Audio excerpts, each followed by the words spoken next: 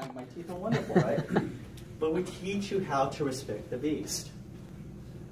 So, yeah, if you happen to be in the room during an x-ray procedure, E scatter radiation will also interact with you. And if it's not high enough, because we generally operate in the areas of between 70 and 90 kV, you're going to be absorbing all that radiation.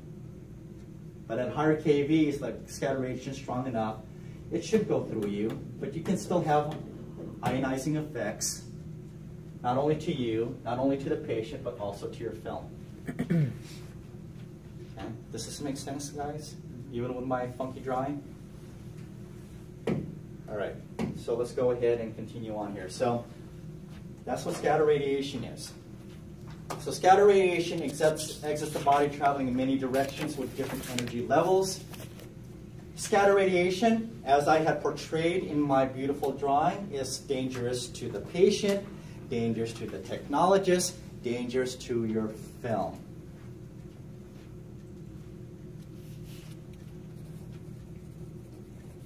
Okay, questions? Here's an example of a knee x-ray. It's a bone, right? What color is bone supposed to be? White. In radio, in radio, it's supposed to be white. Does it look white to you? Mm -mm. It's gray. This is what's caused the unwanted density from scatter radiation. It should be nice black and white, but it's very, very gray. Okay? That's what scatter radiation does. It causes unwanted densities or fog.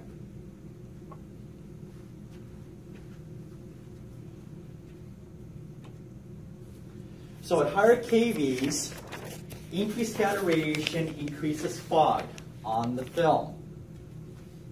With lower KVs, it's not going to be enough to penetrate the body and it's absorbed by the patient. This is where your knowledge on KV comes along. Okay? You were giving you the tools, you got to understand how to use those tools. Too high, too dark, scatter radiation. Too low, mostly attenuated, bad for the patient. So we got to find that happy KV. Therefore, optimum KV is necessary where an adequate amount of X-ray photons reaches the film for adequate density. As we said earlier, highlight this, KV selection has been standardized based on body part thickness. KV has been standardized based on body part thickness. Why did I just repeat it? Know that. You guys know me now, right? Why did I repeat it? know it. This is probably going to be on the test or the quiz. Okay? So therefore, KV is primarily used to control radiographic contrast. How are we doing, guys? Are we doing excellent? That was just on KV. Time for some math. So this is what it is. Okay, we're dealing with x-rays. X-rays is black and white and different shades of grays. So instead of colors, we deal with shades of blacks and whites and grays. This is the same image. Okay, this is colorized. This is what we call black and white. This is our tools of the trade. Okay, same thing. And each of the grays represents certain tissues in your body. Here's another one. Okay, color bars in color, same color block, uh, color block in black and white. So each of the colors represents something. Okay. And you guys remember I Love Lucy? All the different shades of grays represent, otherwise, you know, if you didn't have all these shades of grays, you wouldn't be able to tell the door from the window, from Ricky, from Lucy, Fred and Ethel, the piano, the couch, the tablecloth. You wouldn't be able to do that. Okay? So the more parts there are to the part that you're trying to x-ray, the more shades of grays that we need to delineate one structure from the other.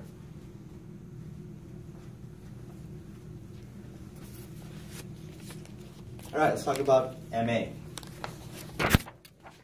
Milliamperage controls the current flow to the cathode filament at the time of exposure.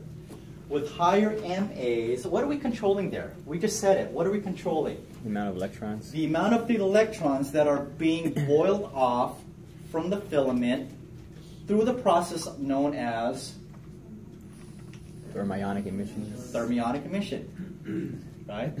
The higher the MA, the hotter the filament gets, the more electrons are boiled off. What are we controlling there? Quantity or quality? Quantity.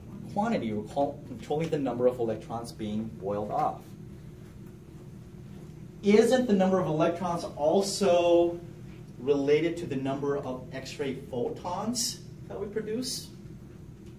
Right? hmm So the more electrons that we boil off, the more X-ray photons we are producing, which is also controlling patient exposure. All right? So an increase in MA will increase the number of X-ray photons in the primary beam. It controls quantity, not quality, but quantity. The amount, the number.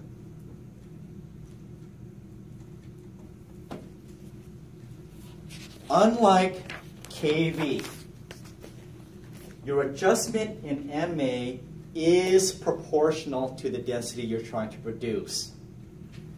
So when you double your MA, you're also doubling your overall radiographic density. So if I double my MA, it's going to be twice as dark. If I cut my MA by half, it's going to be Half as dark. okay, twice as twice as dark, or half the density, right? It's going to be half the density. So the relationship of mass selected and overall film density is proportional. So if I started off with 200 and I doubled it to 400, I'm also making it twice as dark. Here's the example. 200 MA, too light. Let's go shoot it again. Okay? And now it's twice as dark. But you've gotta be cautious when manipulating MA or time or mass as one unit. Because as I said earlier, when you're manipulating mass, you're also manipulating what? Patient exposure. So if I doubled my MA, what am I doing to patient exposure? Doubling it. I've doubled my patient exposure. Okay? Because now I produce twice as many electrons, twice as many X-rays. Is this making sense, guys? Is it soaking in? Here's the nuance. Although I said proportionally, it is very proportional. You double it, you double it. You cut it in half, it cuts in half. However, all you need is a minimal change of 30 to 35% to see a visual change on your density. All you need is a minimal change of 30 to 35% in your mass to visualize a change in your radiographic density. So then why don't we just do that? Because doubling and cutting in half is just a lot easier. You can't do that with 15% rule with KV. You can do that with mass. So if I were to ask you what is the minimal amount necessary, the minimal amount necessary to see a visual change in your radiographic density, what are you going to tell me? 30 to 30 to 35% of your what? KV? mass. Of your mass. But you usually go in doubles just because It's just a lot easier to easier. work I can with. do it in my head. Right, you don't have to do the math 30%. Nope, you don't have to do the math. It's just a lot easier.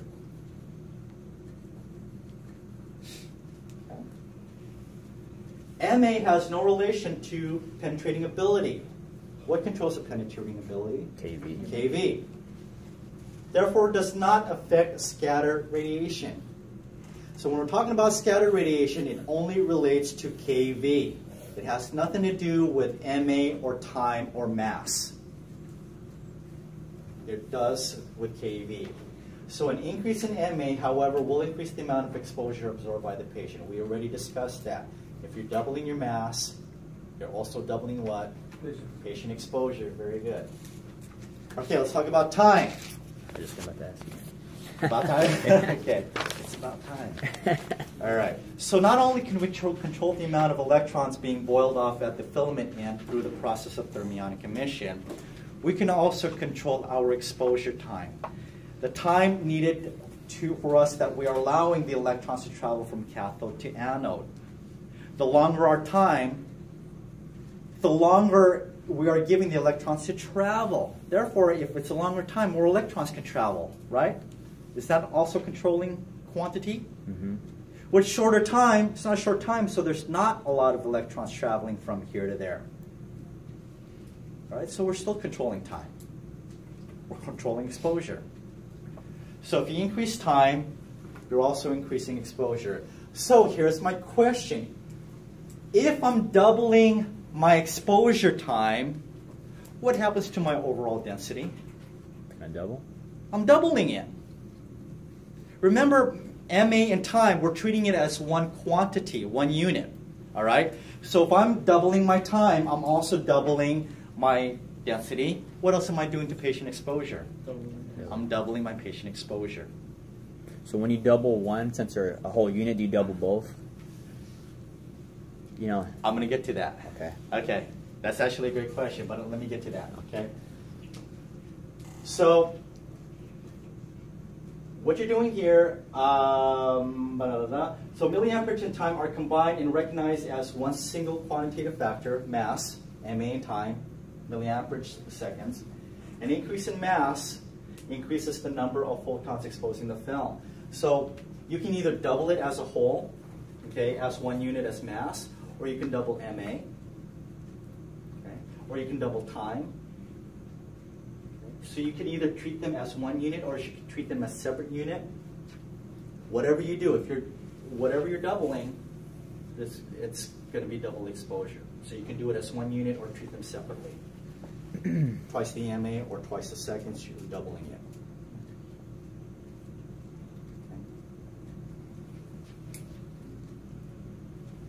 All right, we're going to get into some serious math. You guys ready for this? All right. Now, we need to take our tools and learn how to not just work with them individually, but work with them As a whole. as a whole. Exactly, as a whole. Okay? So, what we're going to be talking about here is KV and the mass relationship and its effect on overall density. We already know that if you increase or decrease your KV by 15%, you're doubling your density or cutting it in half. The same goes with mass. If you either double it or cut it in half, you're also doubling or cutting your mass in half. Those two, those two rules apply, okay? Whether it be 15% or the double cut in half for mass, we're talking about either doubling it or cutting it in half. Plain and simple. Okay? So, here I have a radiograph. A decrease in kV by 15% may be compensated for doubling the mass. What this is saying here is, okay, well, I decreased my kV by 15%. What happened to my overall density? It got went Okay, down It went down by how much? by half. By half. Okay? So now I have a radiographic image that's too light. But the reason why I decreased my 15% to begin with is not so much to control my density. What was it that I'm trying to control with my 15% rule of KV? Contrast. Contrast. So when I decrease my KV by 15%, what happened to my radiographic image? Is it going to be black and white or is it going to be very gray? Black and white. So decreasing by 15% is going to give me a more black and white image. Does everybody agree? hmm Is that a high contrast or low contrast? High contrast. It's going to be high contrast. All right? But in doing so and trying to control um, my contrast, I've also affected my density. Now, although I have a black and white image, my overall brightness or darkness is going to be too light. So I want to get it back to the original density, the original overall darkness of my film. And how do I compensate for that? Doubling the mass. by doubling my mass. This is how you use it together. The key here is maintaining the same radiographic density. So- I went into the room knowing that a certain combination of technical factors will give me the best radiographic image.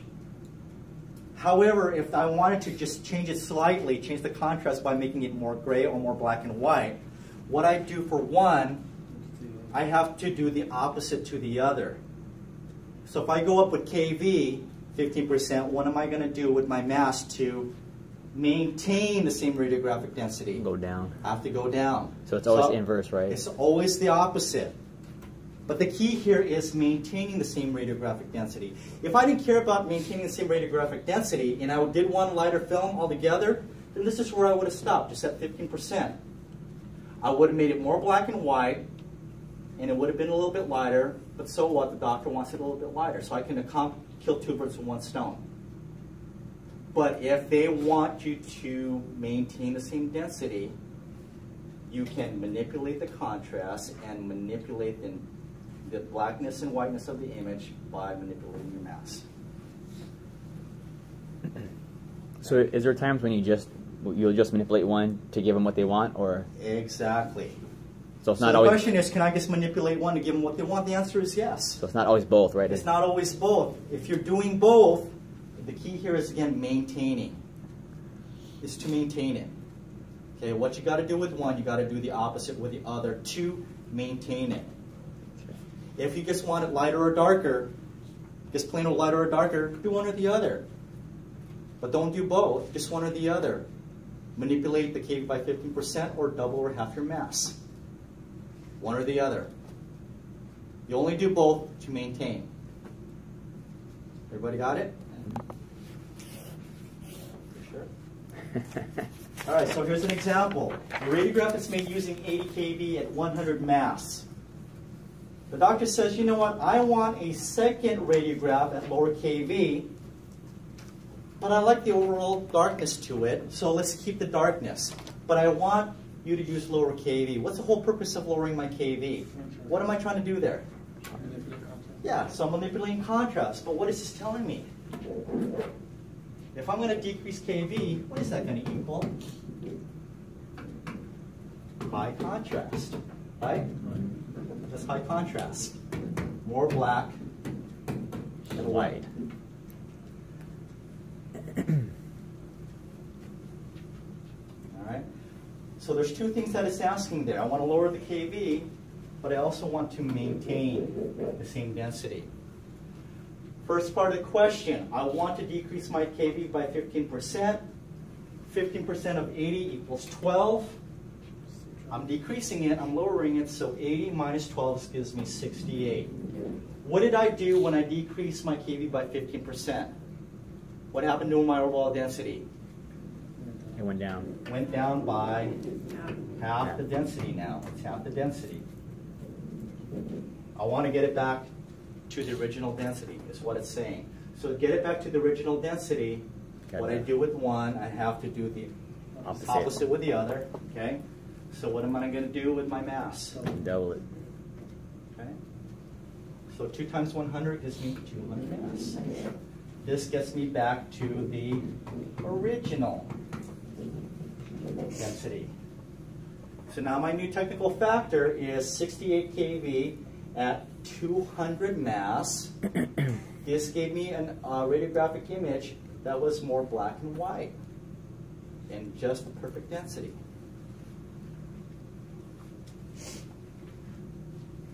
All right? Do we got it? Did we get it? Do we have it? Did we give it away? Okay. That was KV mass relationship. Now let's just talk about mass. The mass relationship. Okay? MA and time. The MA and time relationship is inversely proportional because mass is considered as one value. An increase or decrease in one will require a decrease or increase in the other to maintain the same radiographic density. I like this. I can go crazy with this. What the heck does this mean? I'm going to give you a visual. It's always better with a visual, right? Always better with a visual.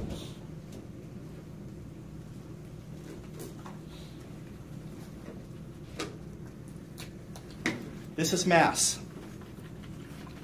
Okay? This is my brain on mass. You guys awake? this is mass. All right? I've got, let me see, there is uh, 16.9 fluid ounces. Let's call it 17. Let's call it 17 mass. Is that the same bottle? Okay, we got 17 mass. I need a volunteer who wants to get wet. 17 mass. I can either pour the contents on my head really slow.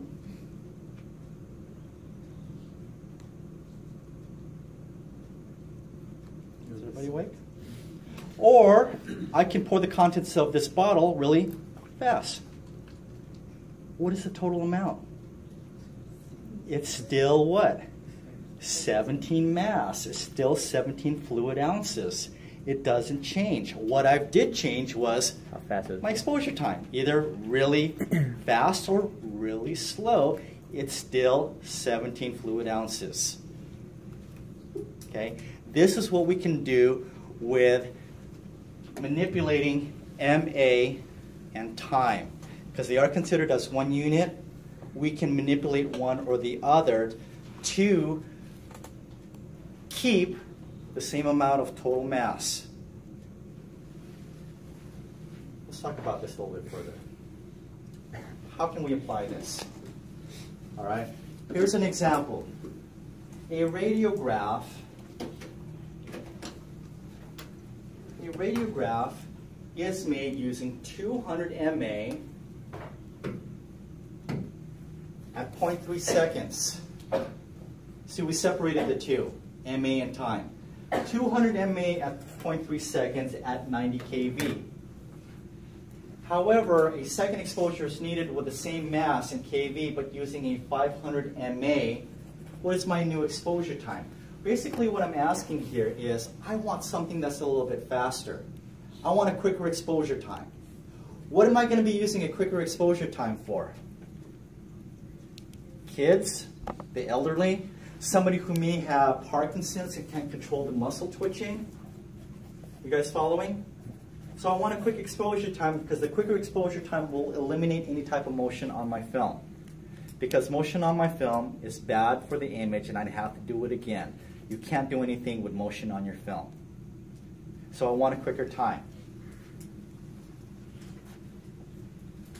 So if I were to plug in this formula, okay, this is inverse.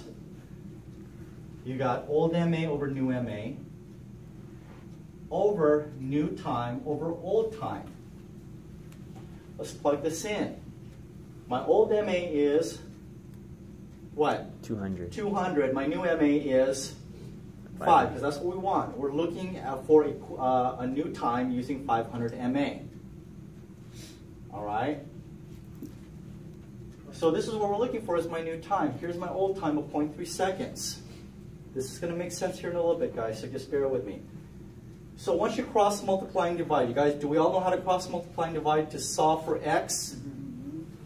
0.3 times 200 divided by 500, okay? This is what I get. So now it's going to be uh, 500, uh, 60 divided by 500 will give me 0.12 seconds. All right, so this is what we're doing here. What is my mass? What is my mass that I originally started out with? 200 times 0.3 equals what?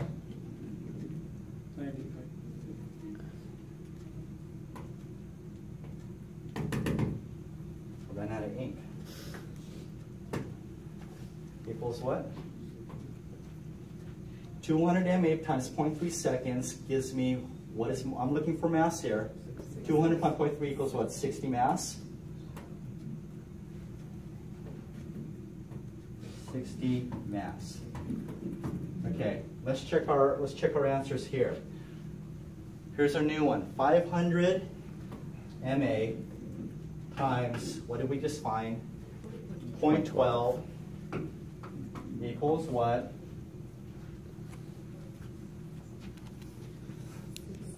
Equals 60 mass. Did you guys see what I just did here? Check your answer. What did I say? It's gonna be 17 is 17 is 17. Mass is mass is mass is mass. Okay? What I'm doing is I'm manipulating the time as long as I am maintaining the total mass. Okay? So when I was looking at this equation originally, my key here is remember if I increase one, I have to decrease the other to get it back to, to your original mass. If I increase one, I got to decrease the other. If I decrease one, I've got to increase the other to bring it back to balance.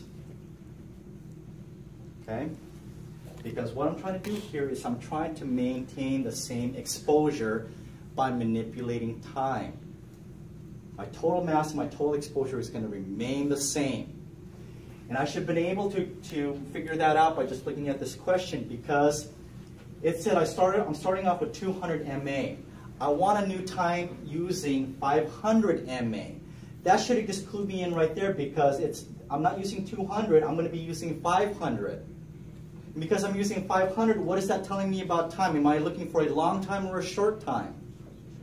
A short time. Did we get a shorter time? Mm-hmm. We did, because we had 0.3 and now we have 0.12. But it didn't matter because I ended up with the same mass, same exposure. I just, I just now have a quicker time. This concept is known as the reciprocity law. The reciprocity law, which indicates that blackening on the film remains constant. It remains constant as long as the total energy, what are we talking about here, total energy? We're talking about mass, right? As long as mass is what? Is constant. As long as mass is constant.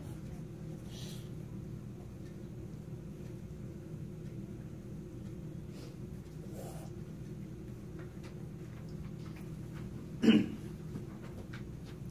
questions? I can tell you guys are soaking this in. Or you're just tired. or you're soaking it in and you're tired. All right. Time, like MA, has no effect on the penetrating ability. What is responsible for that? KV. KV. Okay? And this is where the recipro- reciprocating law comes in, law of reciprocity. Short exposure times are necessary to prevent patient motion during exposures, which is detrimental to film quality. Now, there may be some times where I may have to lengthen my exposure time. And it sounds like I'm going to be lengthening my patient exposure, right? Well, not unless I decrease my MA, right? If I lengthen my time, I can decrease my MA and still have the same amount of exposure. Because there will be times where I want a lengthy exposure, because I do want motion in my film. And we'll talk about that some other day. So there are times we want to stop motion, there are times where we actually want motion to help us out. All right, let's talk about distance. Any questions on MA time in seconds? All right, distance. Distance represents the length of the distance between the X-ray source to the image receptor. The image receptor is just plainly your film, your cassette, okay, your image receptor. The intensity of the X-ray beam is affected by changes in your distance. We're specific here to source to image distance. The source is your X-ray tube, okay? And your image is your image receptor or your cassette or your film or your PSP. Okay, that's your image receptor. So SID then is the distance from your source to your image receptor. SID, source to image distance. So changes in your source to image distance can also affect the overall intensity of your X-ray beam. Generally speaking, when SID is doubled, the same number of photons is spread over an area four times the original area. Therefore, the intensity of the beam is reduced to a fourth of the original density. So if we look at this image here, you've got the same quantity of photons, okay, at 40 inches covering this area. However, the X-ray beam, just like light, diverges. It spreads out. It's still traveling in a straight line, but it's diverging. And because it's diverging, the longer you are, the further you are away from your SID, the more grounds that it has to cover. Okay, same amount here, but now it's spread out. What do you think is going to happen to the intensity of the beam? It's going to go down. It's going to go down. I'm not going to paint you a picture this time. I am going to show you a demonstration. Okay?